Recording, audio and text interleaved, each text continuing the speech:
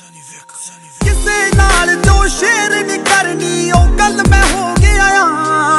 ਜੋ ਭੁੱਲਣ ਦੀ ਕੋਸ਼ਿਸ਼ ਕਰਦੀ ਓ ਪਲ ਮੈਂ ਹੋ ਗਿਆ ਆ।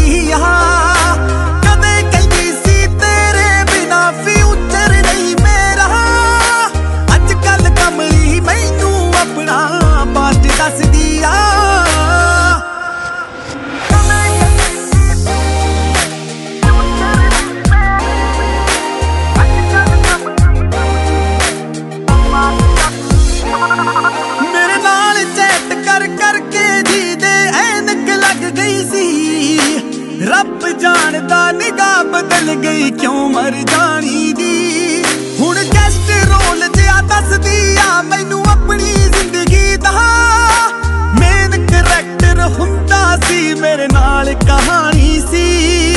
ਕਿਰਦਾਰ ਬਦਲ ਗਏ ਟਾਈਮ ਬਦਲ ਗਿਆ ਨਾਰ ਬਦਲ ਗਈ ਏ ਲਾਈਫ ਹੀ ਮੇਰੀ ਹੋ ਗਈ ਆ ਰੀਕਾਸਟ ਦੱਸਦੀ ਆ।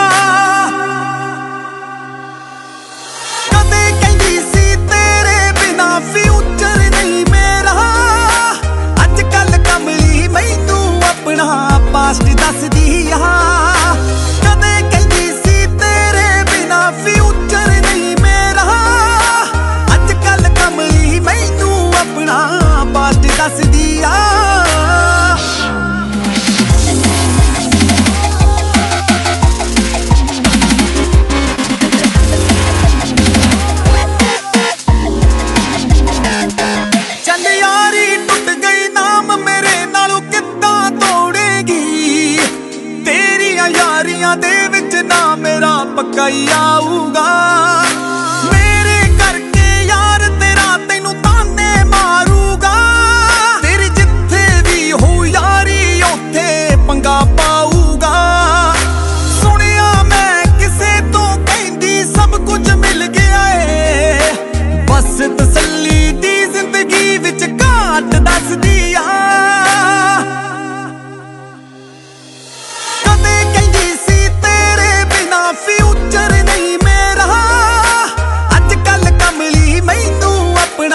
ਪਾਸਟ ਦੱਸਦੀ ਆ।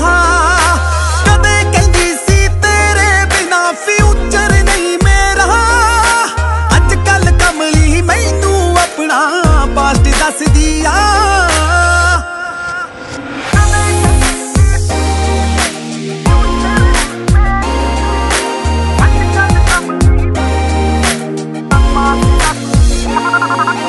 ਸਨੀਖੇ ਪੜਤੇ ਹੱਕ ਜਤਾਉਂਦੀ ਸੀ ਜੋ ਅੜ ਅੜ ਕੇ। ਹੁਣ ਕਰੇ ਬਿਆਨ ਕਿ ਉਹਦਾ ਮੇਰੇ ਤੇ ਕੋਈ ਹੱਕ ਨਹੀਂ। ਮੇਰਾ ਜ਼ਿਕਰ ਹੋਏ ਤੂੰ ਕਹਿੰਦੀ ਮੈਨੂੰ ਜਾਣਦਾ ਹੁੰਦਾ ਸੀ। ਪਛਤਾਉਣਾ ਪੈਣਾ ਝੂਠ ਬੋਲ ਕੇ ਕੋਈ ਸ਼ੱਕ ਨਹੀਂ। ਅਟਰੈਕਸ਼ਨ ਜੈਸੀ